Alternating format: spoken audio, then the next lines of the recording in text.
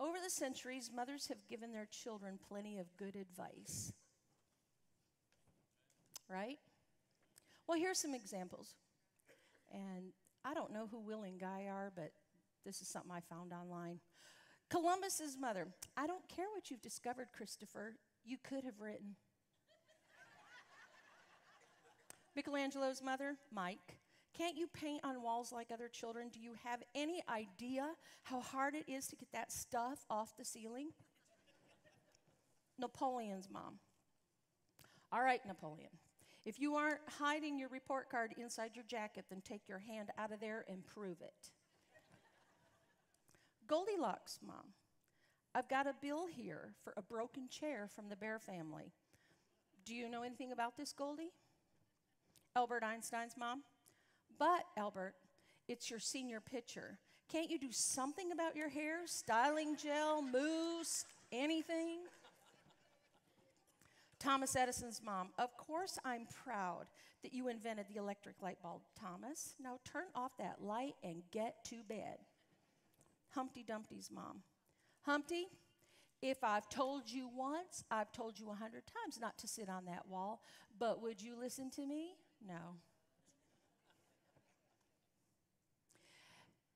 Um, I was really, Garrett, I really enjoyed that third song that you all did about He's faithful, He's faithful. I don't know the lyrics well enough um, to quote them back to you, but that third song that we sang about everything that we can go through, how faithful God is, this kind of ties into what my message is about this morning about a faithful God. So, all right, Benzie. You got it, my friend. It's you and me now. Moms, to you moms who are expecting moms, to you young women out here who want to be a mom one day, um, I have a special prescription for you today. And quite honestly, I believe that this could pertain to a lot of men as well. Okay? We're going to talk about an RX for rest. And I find it rather humorous that God would put a message about rest inside my spirit because I am the queen of I can't rest because I got to do this and I got this and I got that and I got to be here and I got to do this. And so I'll just grab some sleep when I can. And I was telling Pastor Josh, our children's pastor, all throughout the year, you know, I get to do this once a year. So I have a year to plan right now what I'm going to say to you next year if I'm invited back. And I get all of these little ideas. You should see my notepad on my on my iPad. It is just full of all these little tidbits of ideas and scriptures and things. But when I go back to visit it, nothing seems to really roll or go with the flow, so to speak. And about three weeks ago, I was getting really nervous. I said, Okay, God, you, you know me. You know how I am. I need your help here. And about 11:30, when I laid down to bed, I heard the Spirit speak to me and say, Rest. And I said, As in rest now, go to sleep? Or as in rest, and that's my message? And he started spelling out R for this, E, S, T. And I went, Thank you, God. Thank you. And I went off to sleep and then was able to go to go with the rest of the message. So I can honestly say that yes, God has a sense of humor because he used me to speak to you on rest. How many of you have been to Walmart or a grocery store or wherever you're at and you bump into somebody you say, "Man, it's so good to see you. How you doing?" and they say, "Oh man, I'm great. I'm great." But oh, busy, busy, busy. How, have you ever heard that?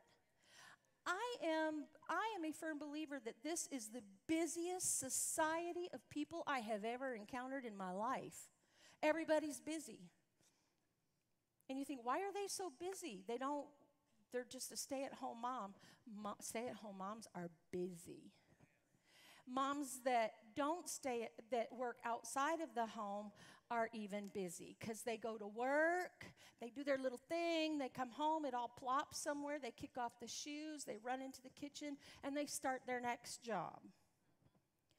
So, I get it. How you doing is normally followed up with the response, Great, busy, busy, busy. And I read recently that a lot of people, especially in, it's more common with Americans, that uh, they seem to rate their worth and their recognition on the relentless busyness of their schedules.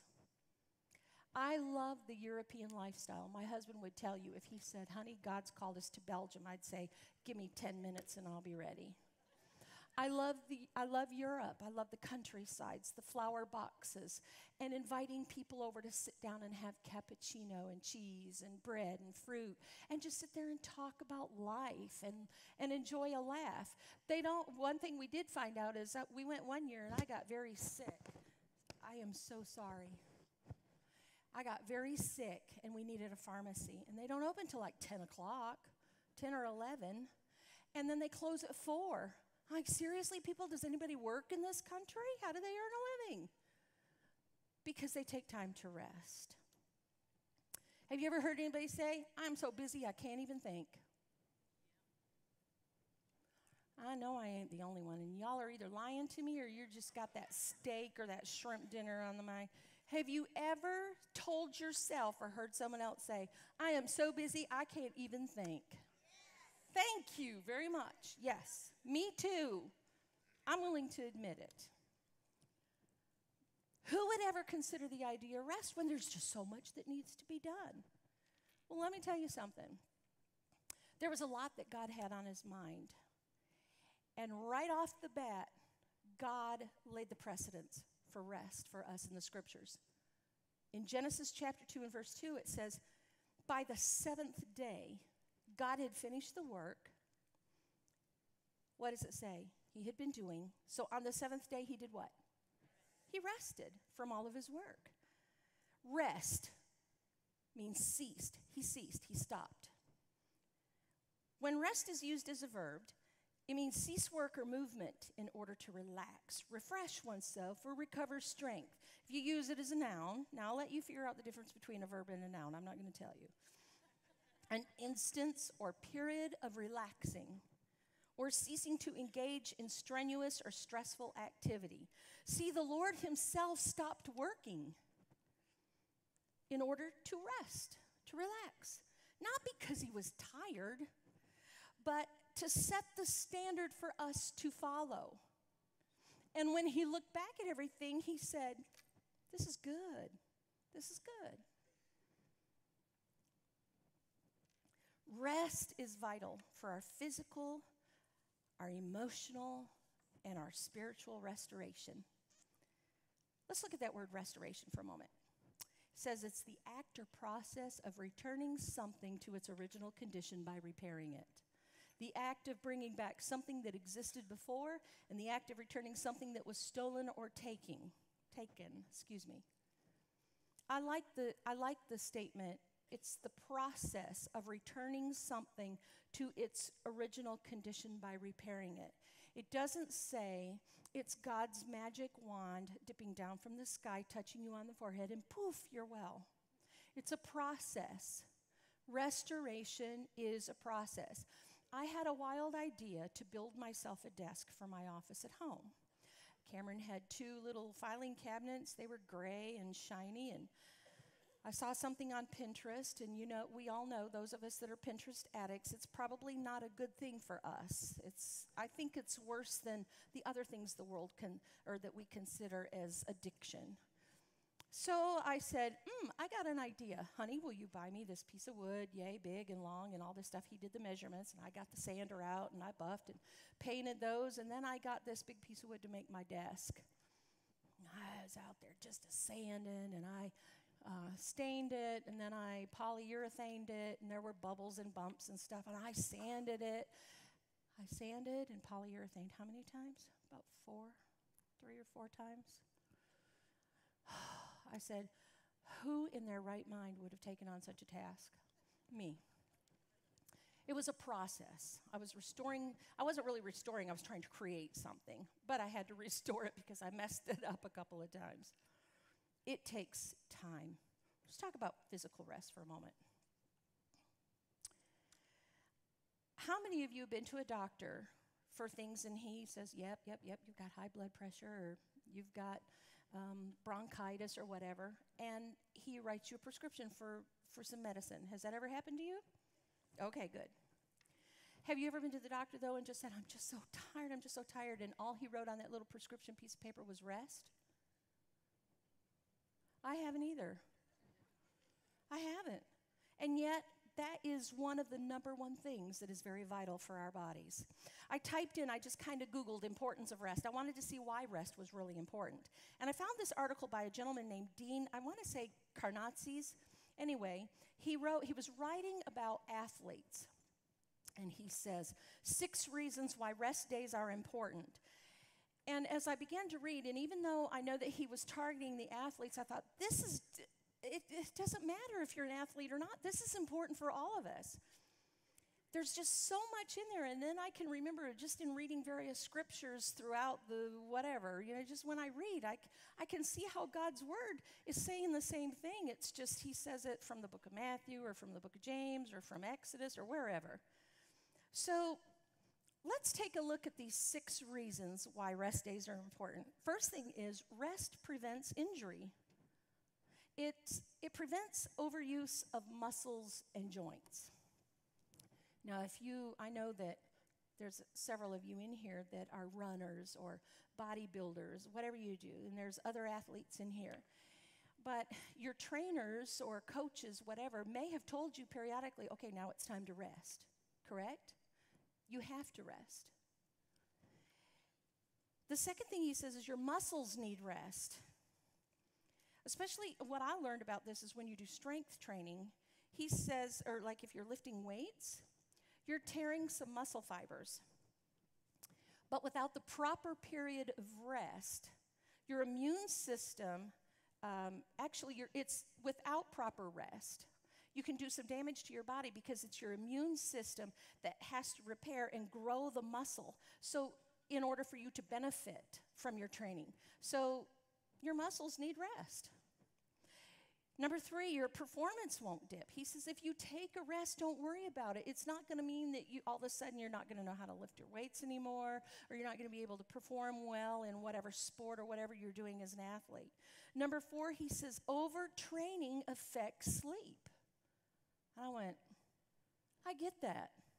I'm not an athlete. I used to be. Well, in some respects, I guess. Phil will tell you. Um, overtraining, you get too much exercise that it puts your body in a constant state of restlessness. And it makes it hard to get a good night's sleep. And he said it can also increase the heart rate, making it very difficult for it to come down. So, rest days can help bring down your alertness and your heart rate. I get that. Number five, your immune system can overheat. Anybody have their immune system overheat? Are you aware that that can happen? It says when you when you do several periods of heavy activity, your immune system is constantly activating to repair muscles and joints, and without the rest, proper rest, your immune system just can't catch up. I understand that. The last thing he says, it's good for your mental edge. Would you agree? Somebody's laughing, I get you. When I am sleep deprived, I'm not mentally sharp. And there's even sometimes when I'm not mentally sharp when I've had plenty of rest. but that's really what happens from a psychological standpoint, you have to take a rest period to rekindle your hunger for exercise or whatever it is that you do, for your job, for whatever thing. It helps to prevent burnout. And mental fatigue can be very it can be very detrimental to your health. It can lead to all different kinds of issues, physically, mentally, spiritually, all of this stuff. Um, you have to take rest days to recharge. You have to. You know, in Exodus chapter 20, it's where you read about the Ten Commandments, where the Lord has given Moses his Ten Commandments. One of them, he made resting the Sabbath, uh, resting on the Sabbath, a requirement. It was required. All God's people, their families, their servants, you know, even the animals. It's like, why would you even say that about the animals? My dogs just lie around all the time anyway. That's all they know to do is rest. But everyone was required to have a day of rest. And then if you flip over into the next book, Leviticus chapter 25, the land also needed rest. Did you know if you continue to cultivate? I don't know, how many of you are farmers or you like to garden? You have a garden. Okay, okay, okay, that's good. If you overwork that soil, you want, you've got to get it to a certain consistency. My dad used to get out there with a rototiller and plant watermelons and different things, and I'd watch him and he'd say, "Okay, that's enough. We can't we can't do too much. Get it just right. Put the seeds in, and then you water it, and then you rest, and you let the Lord through nature take its course, and then you have to continue to watch it." But we can disturb even the land. See, God desires rest for us because it doesn't come naturally for most of us. Some people might say, Well, I know somebody that doesn't have a problem resting all the time. Don't tell me who they are. I don't want to know. We have to trust that God will take care of things for us, even in our physical bodies, in our land during times of rest. So let's talk about emotional rest for a moment. I just want you to leave this here for a moment, Benzie. Mom, have you ever sat down to the table after the kids have gone off to school, or maybe when you got home from work and you're trying to think, what am I going to feed? I, feed my family. I don't want to fix dinner. Um, that tells me it's like I am so exhausted. I wish just poof, and there's Danny's fried chicken on the table. Um, I don't know. There's a lot of things that this slide speaks to me, but it also tells me that we can be intellectually, we can be mentally exhausted, and we have to have rest for that. Think about the students. Think about the time that you went to school, or if you're a student now or going to school. They work all through a semester studying and taking tests to see what, how well they're retaining information. And then they do a final exam, and then there's a break, whether it precedes a holiday or a spring break or a summer break. There's a reason for rest because they want their students to have a break to rest their brains. And some of them rest them a little bit too crazily. But they, you want to rest so that you're recharged and you can come back and face the next semester like, okay, bring it on. I'm ready for another A, right? Okay, I hope y'all are with me. So that mind needs the rest. And if we don't rest the mind, we can experience depression, anxiety, panic, fear, confusion, feelings of being trapped or even feeling overwhelmed. I hear more and more people today, mainly women, but I hear some men too. I'm just, I'm so overwhelmed. What is making us so overwhelmed? Are we just so busy, busy, busy that we're not even stopping to rest the intellect? Let me tell you, I experienced that. I have suffered a depression where I needed psychiatric and psychological counseling. This is back in 1997 into early 98. I don't know what was wrong with me. I was working full time. I had two kids, were in ministry. I decided to enroll in college, drove an hour back and forth to the University of West Florida. And if you've already heard this, forgive me, I'm not going into the whole thing. But I couldn't understand what was wrong. I didn't want to be here, but I didn't know where I wanted to be. I loved my husband, but I didn't want to be married. I loved my children, I didn't want to be their mother. I was making A's in school. And my doctor, bottom line is, he said, You go, you go, you go, and you're not replenishing. If a truck pulled up to a gasoline station empty, none of us would be able to get anywhere. He's got to take that truck somewhere to put fuel in it in order to bring it back and give us the fuel that we need to get around town. Are you following me? I like to tell the I like to give little examples. Problem with me was I was filling the gas station but forgetting to go off and refuel. Oh, what happened? Oh, man, y'all had me scared there for a minute. So there was little there was little room basically no room for rest. I didn't take it. Do you know that even Moses kind of faced this in, in some way when he was leading the children of Israel? If you read Exodus chapter 33, he finally, I can just see him out there with a big stick and he's going, Show me your intentions so I will understand you more fully. and do exactly what you want me to do. So, the Lord said, I will personally go with you and I will give you rest, Moses. Can you just see Moses like, I have been leading these, these people all around everywhere, doing the very thing you wanted me to do, and I'm exhausted. I can't even think. I'm so busy, busy, busy, so tell me what you want me to do. You see, our emotional rest doesn't always come from stopping what we're doing, it comes from no longer doing it alone. Did you hear what I said? Emotional rest doesn't always come from stopping what we're doing, it comes from no longer doing it alone. The scripture says this My soul is downcast within me. Yet this I call to mind, and therefore I have hope. Because of the Lord's great love, we are not consumed, for his compassions never fail. They are new every morning. Great is your faithfulness. Psalm 46 1 God is our refuge and our strength, an ever present help in trouble. When we don't rest, it can lead to trouble. Isaiah 41 For I am the Lord your God who takes hold of your right hand and says to you, Do not fear. I will help you. But how many times do we find ourselves facing circumstances and hectic schedules and this and this and this. Lord, I'm sorry, I just don't have time for you today because I got to get lunches packed and I got to get breakfast on the table and I got to get myself dressed and clean so I can be to work by 8 o'clock. And then when I'm done, I've got this and this and this and this. And then I got ball practice after work. And then I got to go home and fix dinner. And then I got to get the kids bathed. We got to do homework. And then we got to go to bed. And it just starts all over again. That makes me exhausted. But that's the reality of how things can be. And I did that over and over and over again every day. There was times when I would stay up after the kids went to bed. Phil helped out a lot, but there's still some things that mothers just put on themselves. Well, I know he's a good help, but I got to do this. And one o'clock in the morning, I would turn out the light after studying for my exams.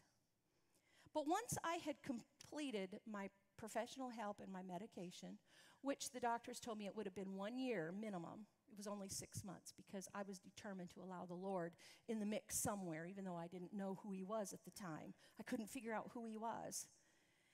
But once that experience kind of plateaued and things were done, I, deter- I became determined in myself that there's going to have to be total reliance on God in these seasons of busyness.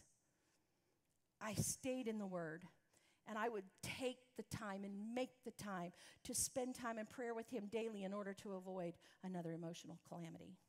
You see, as believers, our emotional relaxation is accepting that we can't go on without God. If you think, well, my life is doing just fine, well, wait till calamity strikes. Let's talk about spiritual rest. This is the last one. I want to show you this is Cathedral Rock. This is about 20 minutes from where my parents lived. This is in Sedona, Arizona. And it has now, I have been there many times as a kid. I have photographs and that. It used to be a nice little park to go. And now it's become more of a, a new age um, worship place where people go with their crystals and, and rocks and that, and they lay them out and they worship this rock and they worship that area. But God created Cathedral Rock.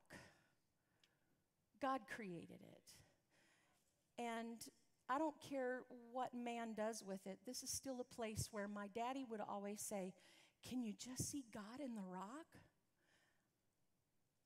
And I'd say, You know, Dad, it's just amazing to be here. And it's really funny, Garrett. And I don't even remember if I, I don't even remember if I said something to Phil. But the first time we ever visited this rock, my dad was trying out for Cottonwood First Assembly of God Church, and we went to this rock, and my dad looked at it, and with tears streaming down his face, he's saying, Great is thy faithfulness. Great is thy faithfulness. It was so beautiful, and I thought, why would dad stand there and sing that song and cry? And now I understand because even in the very beauty of God's presence that might appear cold and nothing, just a big rock out of the earth, God is faithful to meet our needs. So I wanted you to see this. We feel compelled to work harder, as we said, because it's our source of identity. And we're constantly striving or striving to prove ourselves. Therefore, we're determining our worth by our work. And it makes uh, it may make sense to tell ourselves as Christians we're to work harder and do more for God and even doing the spiritual things that can get difficult and we get tired. And the Bible tells us that when following Jesus gets difficult, we're not to work harder, we're to rest better. Think of this scripture, come to me, all you who are weary and burdened, and I will give you rest. Phil talked about this part, take my yoke upon you. His, he wants us to take his yoke. Remember the yoke? The two sided yoke. Meant for, he wants us to be side by side. He wants to be with us so he can show us and train us. It's or, in order for us to learn who God is because he says, I'm gentle and humble in heart, and you will find rest for your souls, for my yoke is easy and my burden is light. And you've probably heard someone quote this out of Psalm 46:10. Be still and know that I am God. Right? How still? How still are we to be? We have to make and take the time to be still. We have to rest. We have to cease. We have to relax from the hectic schedule of life. It's the only way we're going to learn from Him and experience His rest. Hebrews 4 1 says this Since the promise of entering his rest still stands. Let us be careful that none of you be found to have fallen short of it. In other words, he set a precedence for us at the beginning in Genesis chapter 2. He's telling us, rest. It's okay. Take some rest. Relax. Cease from your working. Honor me. But then he says this, but be careful that you don't be found fallen short of it. Because he knows that lack of rest can lead to calamity in every area of our life. Hebrews, uh, going further down in that, excuse me, in that chapter. So there is a special rest still waiting for the people of God. For all have entered into God's rest, have rested from their labors, just as God did after creating the world. So let us do our best to enter that rest. Let us do our best. But if we disobey God, as the people of Israel did, we will fall.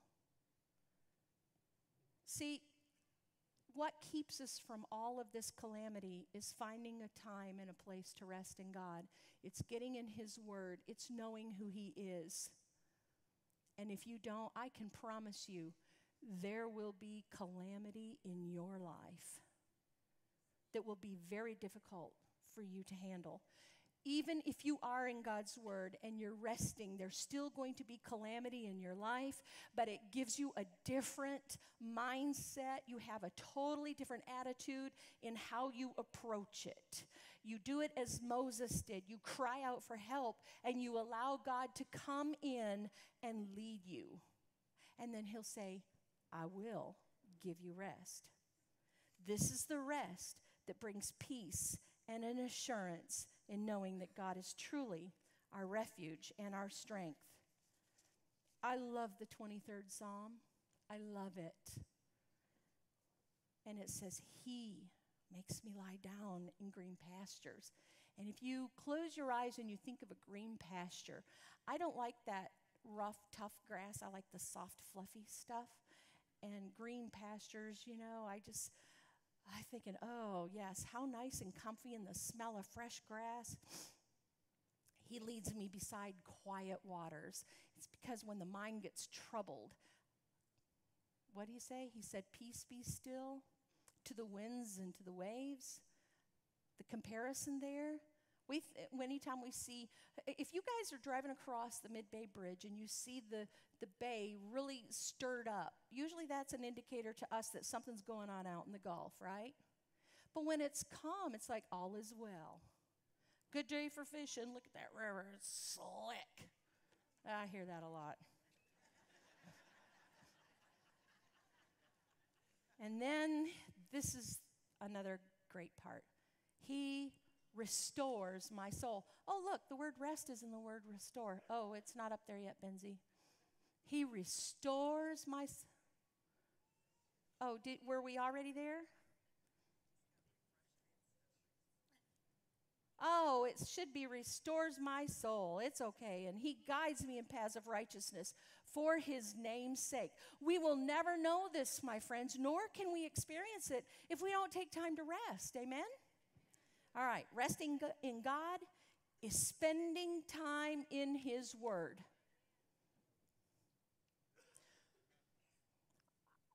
I can't say anything more to that. I can't explain to you the importance of spending time in the Word of God. But you also need to allow His presence to come in, to permeate within you, and you need to worship. I got thinking this morning as we were, I'm going to lift my hands so I can reach heaven. I'm going to shout your name. You're like, I don't want to lift my hands because you've done you haven't done anything good for me. And I don't want to shout your name because I don't be, I'm not sure that you even care about me anymore. Honey, the more you lift your hands and the more you shout his name, the more the enemy's like, "Oh, what is happening to her?" The further and further away he wants to be from you. He does not want to hear you call on the name of Jesus. He does not want to hear you say, God is good. God, thank you. I, my life is falling apart and things are really stinking for me right now. But I'm going to continue to praise you because great is thy faithfulness. Amen. You see, resting in God is spending time in His Word. And it's not just a, okay, gotta go. Okay, um, Jesus wept. Okay, thank you, Lord, for blah, blah, blah, and then going about your business. It's spending time. Lord, I don't know what this scripture means, but some way, somehow, let it speak to me. Spend time in His presence. Spend time worshiping. And then when you do this, you find yourself being restored. Amen? So here's my RX for you for rest. I'm not no doctor, but I'm going to give you a prescription today. Okay? Here's your prescription. The R means that you need to recognize and admit your need for rest. Recognize it and admit it. The E, establish a plan and set a goal for your rest. S, schedule your rest. I don't care what you have to do. It's mommy time. It's quiet time. Or get up before everybody else gets up. Fix you some coffee. If you don't like coffee, grab yourself a Coke, Pepsi, I don't know, whatever you drink early in the morning. Get it. And replenish because that day's going to get crazy. And then T, trust that the Lord will go with you and give you your rest. Trust Him for total restoration because I can promise you He will replenish you and He will give you strength and He will give you rest. Amen? Now, speaking of rest, um, I have reached a season of rest. Back in October, actually, first layer of uh, Holy Spirit, I felt like a human lasagna. It was, here's this layer of this. And I was like, okay. Then all the stuffing gets put in. And then all of a sudden, here comes another layer. Oh, okay. And then stuff gets put in around that, and another, and another, and another. And in October, when I was completely out of commission, it was 2 or 2:30 in the morning. I love the phrase. I had adopted it. I even made myself this little painting with a flower on it that says be still and know that I am God. And it's on the wall in my bathroom so I can see it every morning. And I felt like the Holy Spirit said, "You will be still. You have no choice to be still. And when you're done, you will know that I am God." And it's probably, it was, let's see, October, November, December, Jan- there was about four months for me, the physical piece was just, okay, we're seeing progress, and then whew, it was quite emotionally stretching. Then there were other layers in there. And I thought, you know what? I can sit on this couch and do nothing all day long for four months, or I can get into my word and I can become the strongest human being on the planet. So I'd sit there and the Bible would be here and I'd pick it with my finger. I'd go like this. Okay. And I started to read, and the Holy Spirit came in and He restores my soul. And then He told me, now it's time for physical rest. I said, okay. Dear Phil, pastors, staff, board of directors, elders, and my Genu family. It is with bittersweet feelings that I write this letter to officially inform you that I am retiring from my paid staff position here at Generations United Church, effective May 31, 2016. I have enjoyed serving this congregation for 31 years, 22 of them as a paid staff member.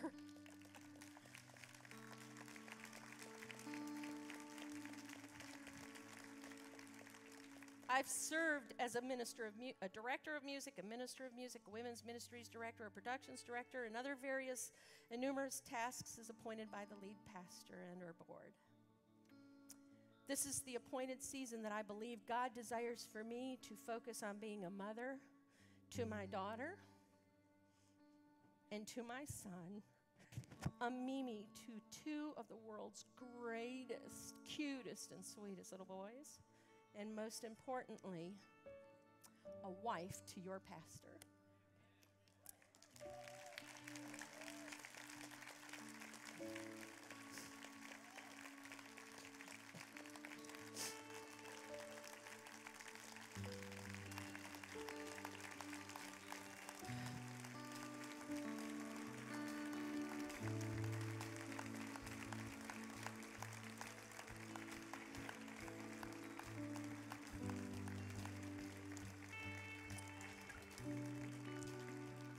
All have been so understanding in my role by showing such tremendous support and encouragement, and I'm confident that this is not going to change. So, my time here at Generations United has been full of love, learning, and growth. I'll miss walking in the office looking at my bold yellow wall that no one else will want, I'm sure. But I am going to, I look forward to spending time with the staff without those nine to five responsibilities. But I'm going to continue to teach my Wednesday night weekly class. I love the ladies of Generations United, and I consider it an honor to bring you the Word of God. And I'm going to continue to serve as, this, as a person in the cafe in the kitchen. I love to play with them, they're fun people. So, thank you again for your love, your support, and your prayers, and especially during this time. I'll be here to serve alongside of my husband, Phil, and the Generations United Church family as we continue to reach out in love, acceptance, and forgiveness and lead people to Christ. I'm looking forward to what the Lord desires to do with me, through me, in me, in this next chapter of my life.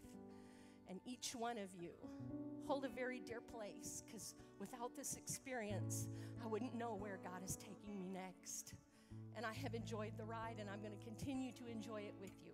I love you, and I thank you for your prayers and your support. God bless you, and happy Mother's Day. Happy Mother's Day.